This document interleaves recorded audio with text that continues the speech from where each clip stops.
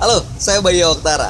Jangan lupa saksikan terus DNK TV, tentunya hanya di Fitcom UIN Jakarta.